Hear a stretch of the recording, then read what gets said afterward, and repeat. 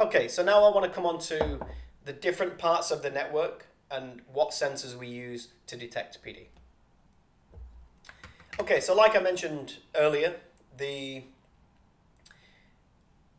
PD sensors that are used are used across the industry. So you, what you'll find is that other PD manufacturers will use the same type of sensors.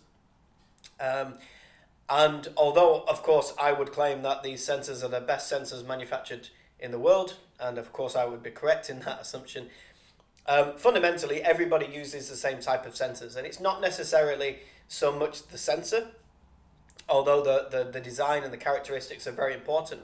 It's not so much the sensor, but it's more important is what you do with the data output. So HFCTs are relatively simple electrical devices, um, but it's what you do processing that data output which really makes the difference. And so that's applicable to all of our sensors, HFCTs, TEVs, ultrasonic sensors. In and themselves, they're very simple uh, devices. The concepts are very simple. The sensor design is important but not critical. And what is critical really is what you're doing with the process, how you're processing the data afterwards. So for underground cables, we use a HFCT, high frequency current transformer. Um, and that HFCT, they come in different shapes and sizes depending on where they're going to be applied. And we can apply the HFCT to cable earth sheath. We all also apply the HFCT around the core of the cable. And I'll explain why next. So in this example, I've put the HFCT on the, on the earth sheath here, but you could also install the HFCT around the core of a cable there. But importantly, the HFCT needs to be installed on one or the other. It cannot be installed in a place where you're capturing both. The reason is, when a PD occurs on an underground cable, what you'll find is the PD will be induced on the core and also on the earth. So you get equal and opposite signals being induced on both um, parts of the system, if you like.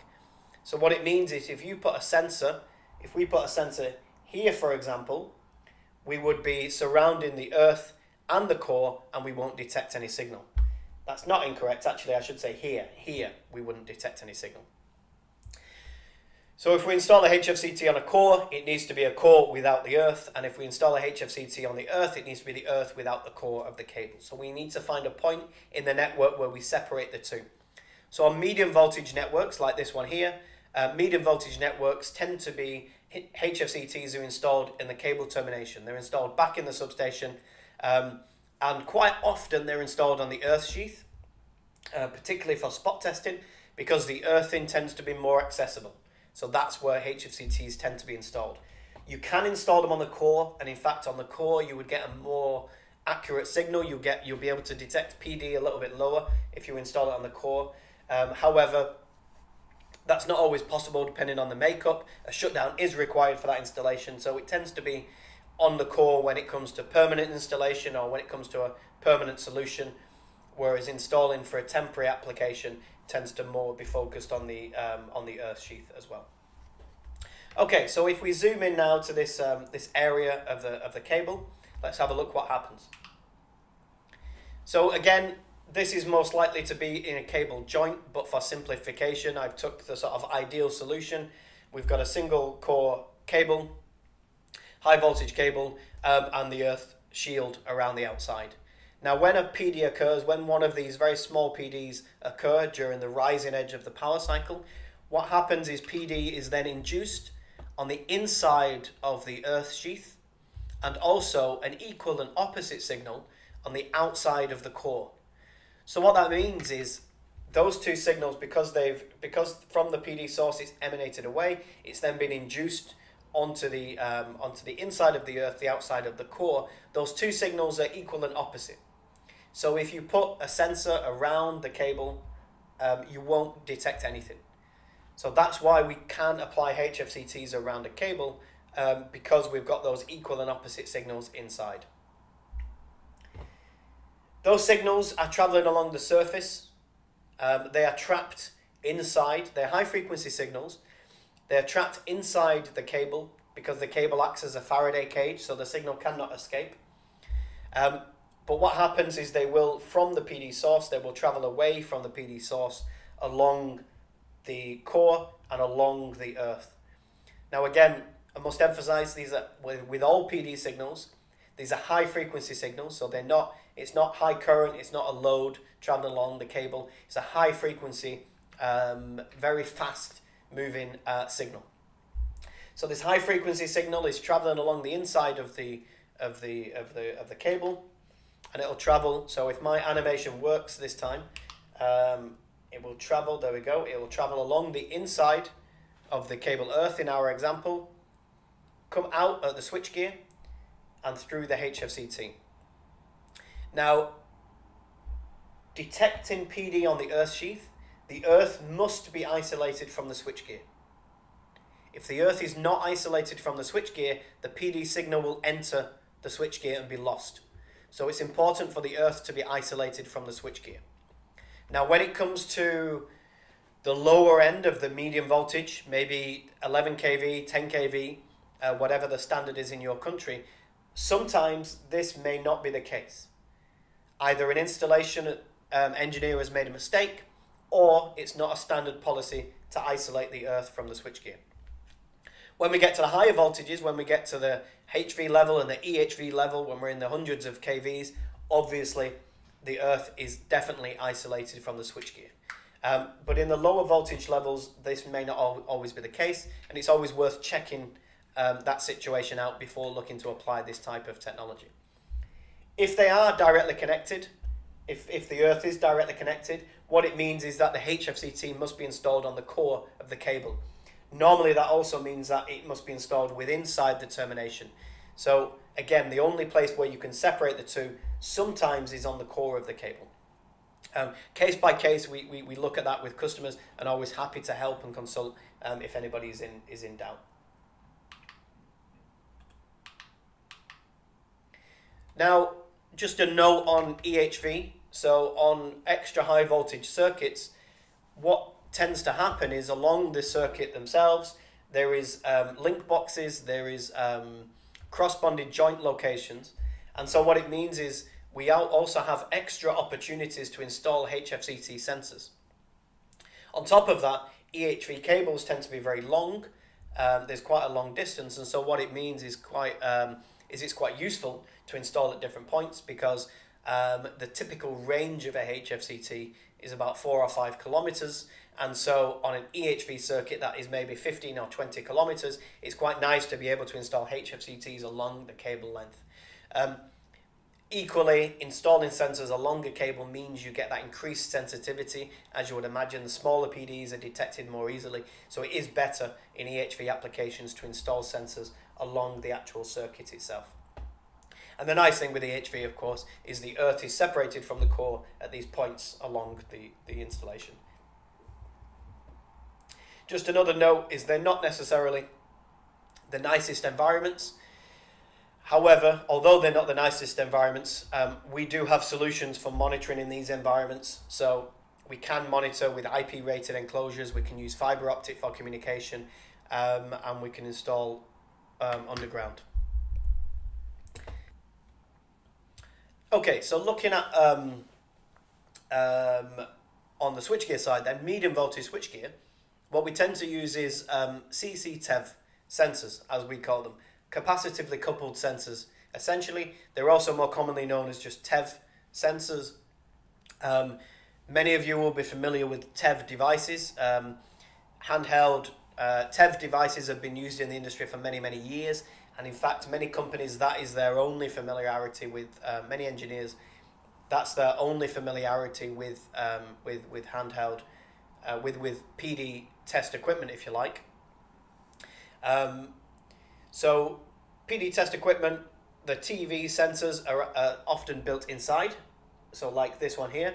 So the head of the sensor is a TEV sensor, but also you can get them in external um, individual sensor types, um, which is what we use on our permanent monitoring systems. The sensors themselves are relatively simple. They're, they're a capacitor.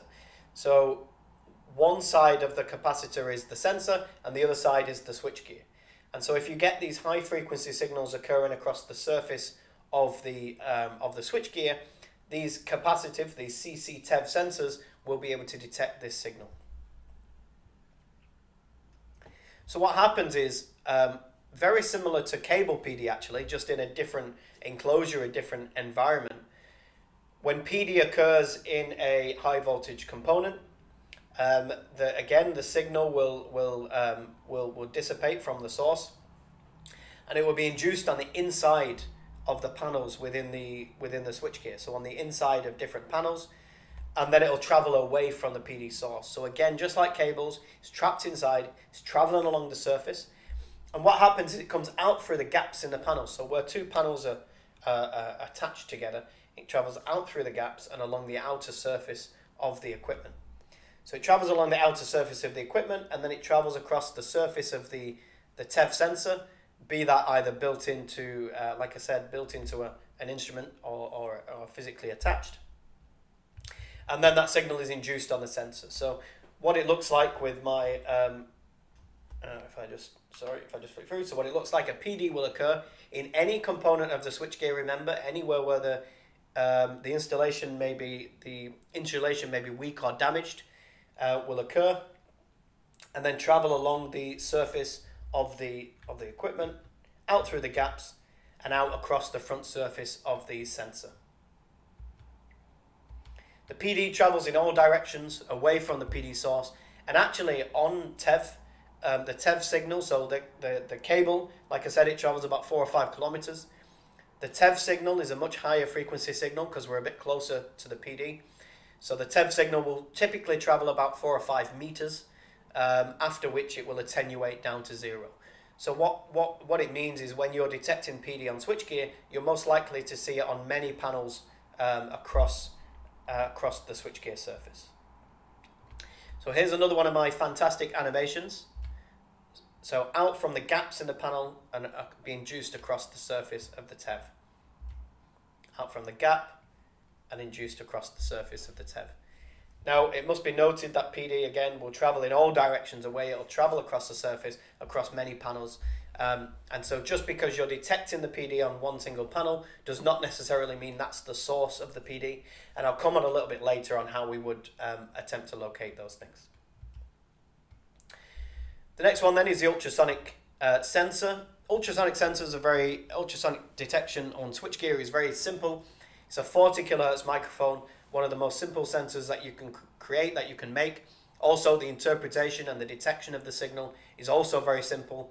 Uh, quite often you use them built into the head of handheld instruments, put some headphones on and point at where there may be some surface tracking occurring.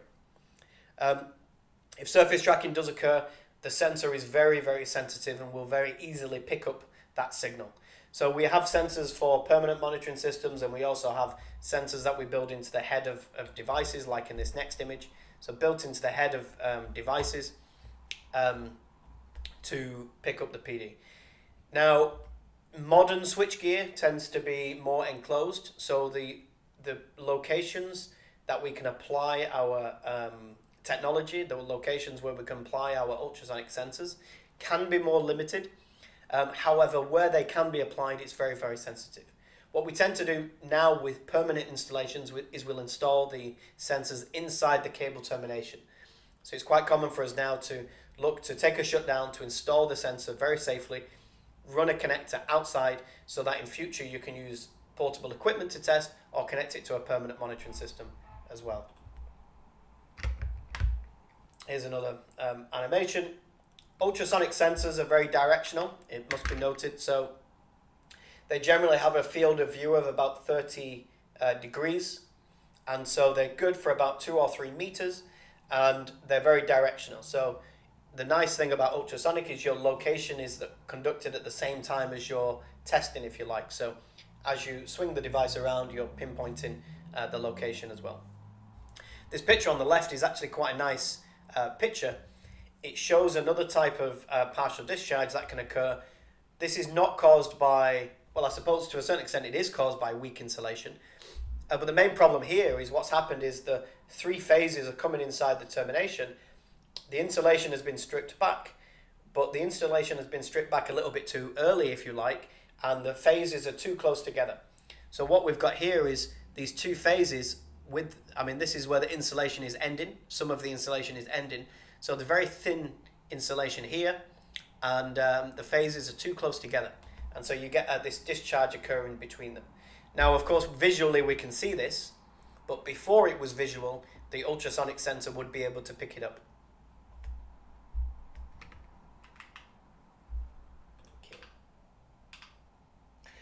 Okay, the final sensor type I want to talk about then is uh, UHF sensors, ultra high frequency sensors.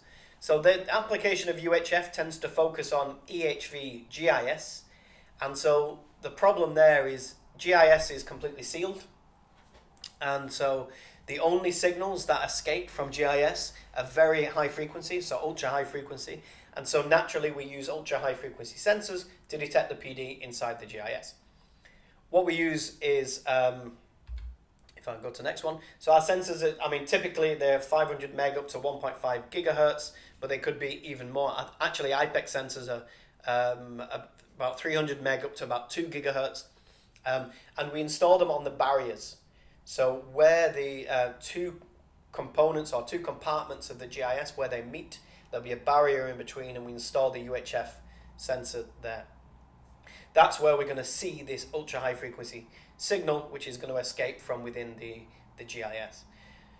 Quite often, I mean, there's lots of different barriers around the equipment, so quite often we install them um, where the customers, firstly, where the customers have the main concern. So sometimes the main concern is in the CT or the VT or the circuit breaker. Depends on the switchgear, depends on the history of failures of that type of switchgear. Quite often it's also on the cable termination. Cable terminations are naturally a weak point in any um, equipment. So I think this picture here is a, is a cable termination. So installed on the barrier of a cable termination there. Um, thank you very much uh, for your time. Hope you learned something and watch out for new um, information that we'll be sending through. Thank you.